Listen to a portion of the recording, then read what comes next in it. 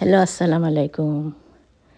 Viewers, আপনারা কেমন আছেন? আশা করি আপনারা সবাই ভালো আছেন। আজকে আপনাদের সাথে আমি একটা নতুন রেসিপি নিয়ে আসছি। এটা আমার মার হাতের রান্না, আপনাদের সাথে শেয়ার করব। এটা আমি রুই মাছের ছোটো ছোটো পিস করে এটাকে রান্না করব। এটার জন্য আমি একটা ফ্রাই প্যানে তেল নিছি। তেলের মধ্যে আমি পেঁয়াজ বাটা দিতেছি। পেঁয়াজ বাটা দিয়ে একটু রসুন বাটা দেবো, এক চামচের মতো একটু রসুন বাটা দেবো। দিয়ে আমি পেঁয়াজটাকে জাল দেবো। জাল দিয়ে এক এক দশ মিনিট জাল দেওয়ার পরে তারপরে আমি মশ, গুঁড়া মশলাগুলো দেব। গুঁড়া মশলাগুলো, এই পেঁয়াজটার সাথে পেঁয়াজটা হবে আর আমি মাছগুলা কেটে নেব। আমি ডাইখা মাছগুলা কাটবো। মাছে আমি ছোটো ছোটো পিস করে নেব। এটাকে আমরা বলি মাছের কুটি ভাজা। আমরা যখন ছোটো মানে আমার এটা মনে হয় যে আমরা ছোটো থাকতেই বেশি খাইছি, আমার মা রান্না করতেন।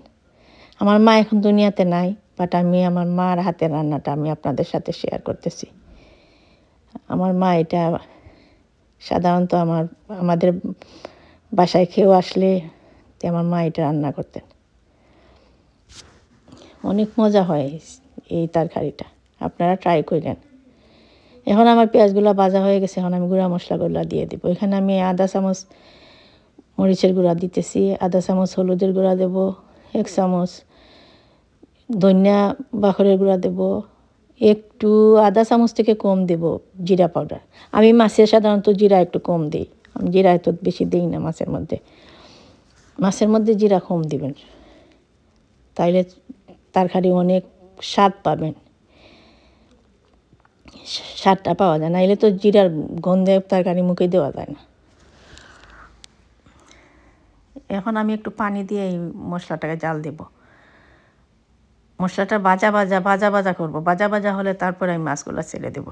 মাছের সাথে আমি কাঁচামরিচগুলো দিয়ে ছেড়ে দেব। তারপরে আমার মাছটা ডাইখা দেব। একটু ক্ষমা গুনে মানে ডাইখা মাছগুলো ভাঙবো না। মাছগুলো আপনারা ভাঙেন না। এভাবে আস্তে আস্তে রাখেন অনেক মজা হয়। আপনারা এইভাবে ট্রাই করেন।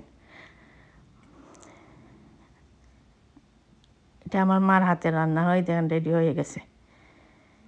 আপনারা সবাই এটা ট্রাই করবেন একবার।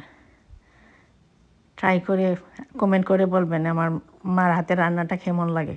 আমার মার হাতের এটা, আমার মার হাতের রেসিপি আমার মা অনেক মজা করে রান্না করতেন। ভালো থাকেন, সুস্থ থাকেন, আমার জন্য দোয়া করেন আর আপনারা আমার চ্যানেলটাকে সাবস্ক্রাইব করেন ফেসবুকে যারা দেখেন, একটু ফলো দিয়েন প্লিজ শেয়ার দিয়েন। ভালো থাকেন, সুস্থ থাকেন।